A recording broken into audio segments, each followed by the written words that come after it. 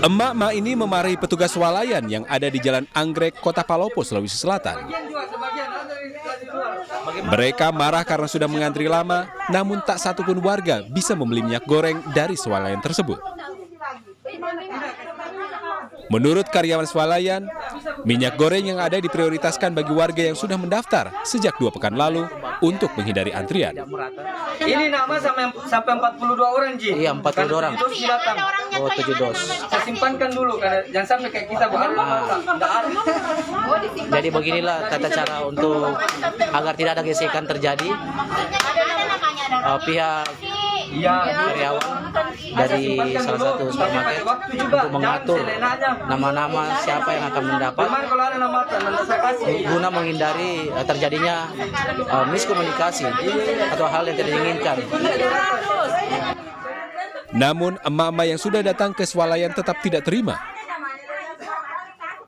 Kelangkaan minyak goreng masih terjadi di beberapa daerah, sehingga banyak warga yang harus berebutan untuk membelinya.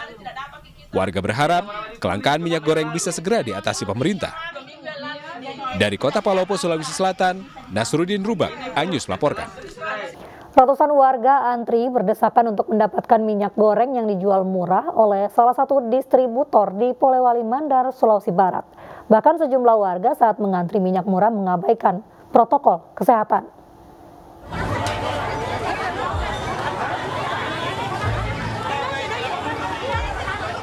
Ratusan warga yang didominasi kaum ibu-ibu ini saling dorong dan berdesakan saat pihak distributor mulai menjual minyak goreng murah di Jalan Andi Depu, Kecamatan Polewali, Sulawesi Barat, Senin siang.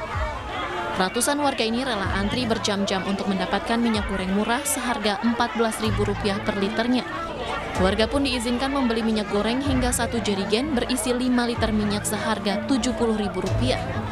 Bahkan sejumlah warga ada yang melakukan aksi curang dengan pembelian minyak goreng murah secara double dari yang ditentukan.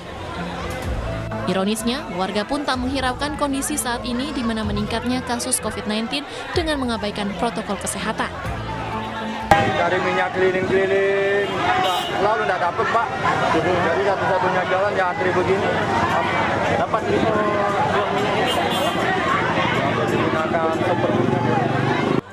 Pihak distributor menyiapkan sebanyak 5 ton minyak goreng.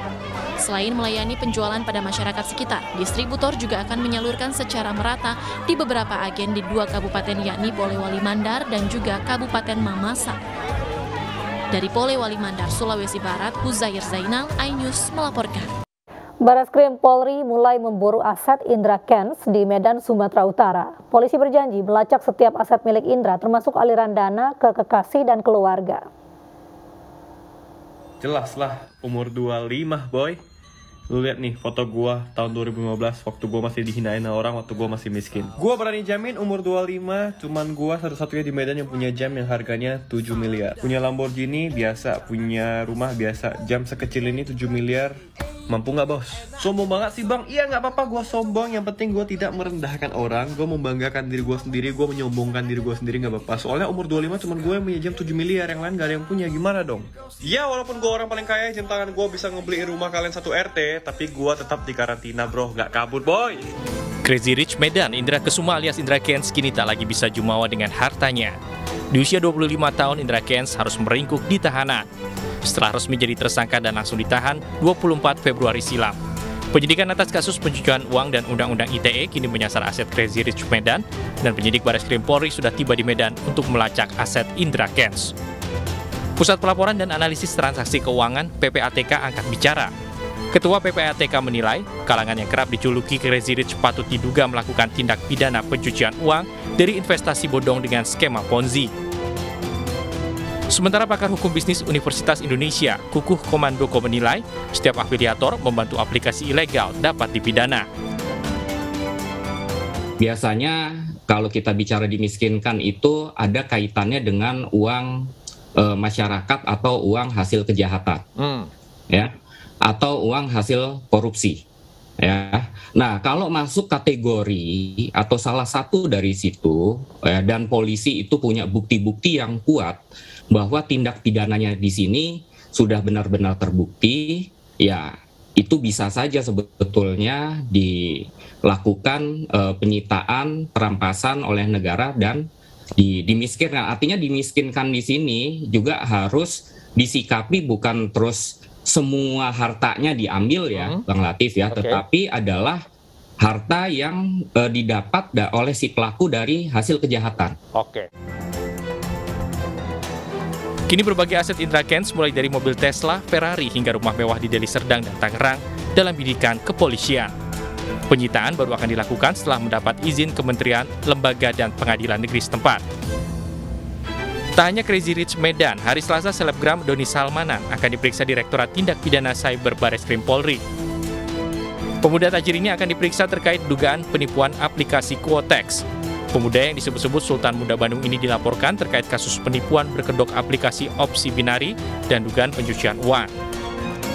Menurut kepolisian, dalam pemeriksaan nanti Doni Salmanan masih berstatus saksi. Tim Liputan iNews melaporkan. Menteri Koordinator Bidang Kemaritiman dan Investasi Luhut Binsar Panjaitan menegaskan pelaku perjalanan domestik darat, laut, dan udara tidak perlu lagi menunjukkan hasil antigen maupun PCR negatif. Pelaku perjalanan cukup menunjukkan bukti minimal sudah dua kali vaksin.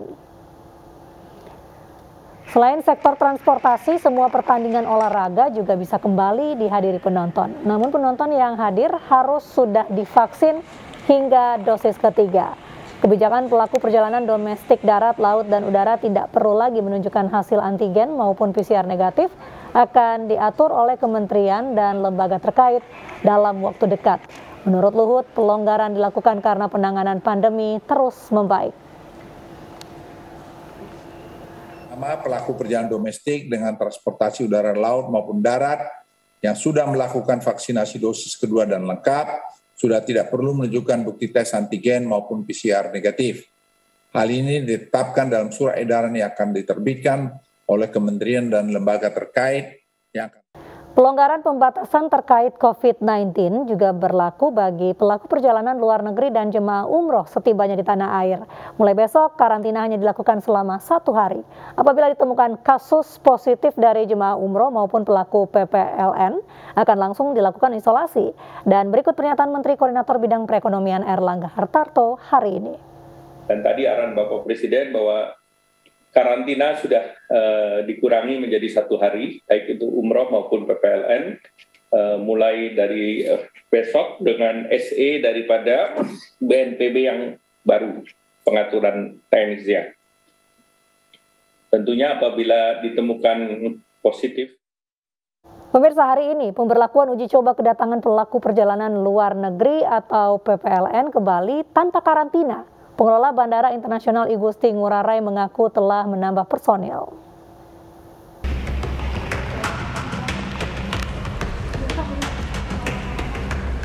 Per hari ini menjadi babak baru bagi sektor pariwisata Bali.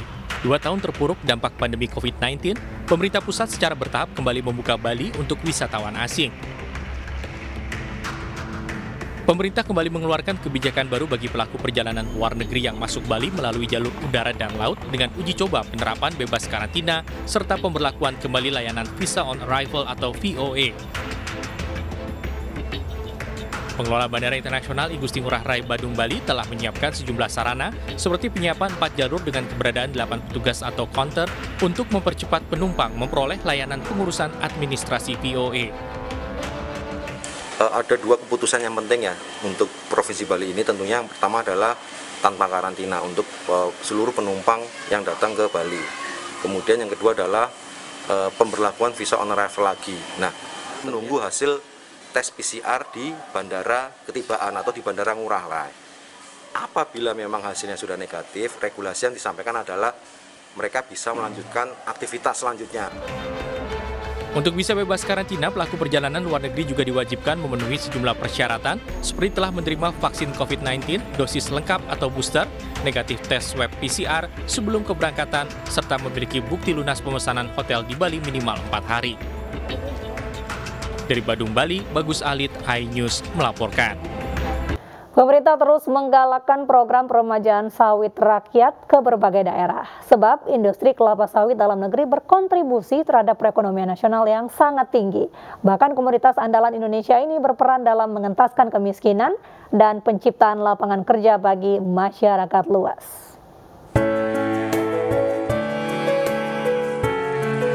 Program Peremajaan Sawit Rakyat atau PSR di Desa Kencana Mulia, Kecamatan Rambang, Kabupaten Muara Enim, Sumatera Selatan resmi diluncurkan. Penanaman perdana PSR ini dilaksanakan dalam rangka peringatan hari lahir ke-96 Nahdlatul Ulama yang berlangsung pada lahan kebun kelapa sawit seluas 328 hektar. Dalam kegiatan ini, pemerintah memberikan bantuan dana replanting atau peremajaan sebesar 30 juta per hektar. Pemerintah menyiapkan 180 ribu hektar setiap tahun. Oleh karena itu program ini kami sangat uh, berbahagia karena disambut oleh warga Nahdien karena ini adalah banyak pekebun warga Nahdien dan program pemerintah ini harus berjalan dan dananya disediakan. Dalam puncak peringatan hari lahir ke-96 Nahdlatul Ulama di Palembang, Sumatera Selatan, NU berkomitmen untuk membantu pemerintah dalam mendongkrak perekonomian rakyat melalui sektor pertanian. Kita akan selenggarakan kegiatan yang sama seperti ini untuk menggalang petani-petani kita di pulau-pulau lain, yaitu di Kalimantan, Sulawesi, dan Papua. Kunjungan kerja Menko Perekonomian dilanjutkan dengan penyaluran kredit usaha rakyat kepada pelaku UMKM. Di tahun 2022, pemerintah menaikkan anggaran KUR menjadi 373 triliun rupiah. Anggaran ini diharapkan dapat membantu pelaku UMKM dalam mengembangkan usahanya. Tim Liputan iNews melaporkan. Sebanyak sembilan warga negara Indonesia asal kota Binjai dan Kabupaten Langkat, Sumatera Utara masih terjebak di tengah kondisi perang antara Rusia dengan Ukraina.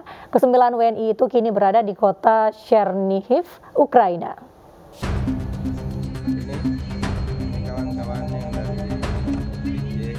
Kesembilan warga negara Indonesia asal kota Binjai dan Kabupaten Langkat, Sumatera Utara saat ini bersembunyi di salah satu bunker untuk berlindung. Dalam video yang beredar di media sosial, para WNI meminta perlindungan kepada Kedutaan Besar Indonesia untuk Ukraina. Mereka memohon kepada pemerintah Indonesia untuk disegerakan dilakukan evakuasi. Menurut mereka kondisinya sudah gawat darurat.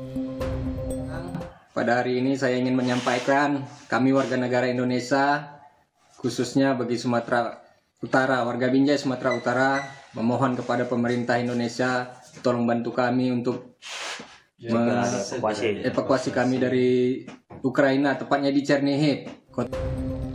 Sementara itu, Menteri Luar Negeri Indonesia Retno Marsudi mengatakan pemerintah masih terus berupaya untuk mengevakuasi kesembilan WNI yang terjebak di kota Chernihiv.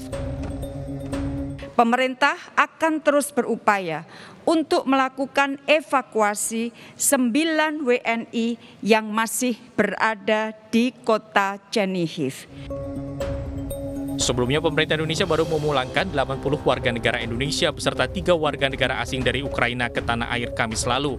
Setibanya di Indonesia, seluruhnya langsung menjalani karantina. Tim Liputan iNews melaporkan.